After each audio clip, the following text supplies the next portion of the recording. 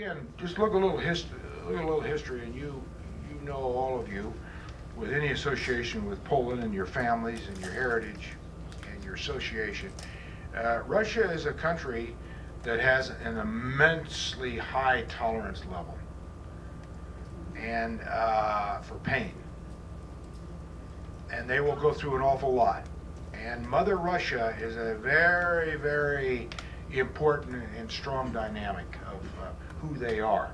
Now, will that continue to hold? I don't know. Are, are, are people uh, going to continue to see their incomes fall and, and um, their quality of life decrease?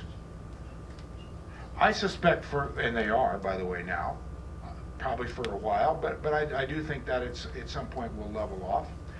Um, and Putin will be dealing with that. I don't think Putin's unaware of that, by the way. Maybe he is.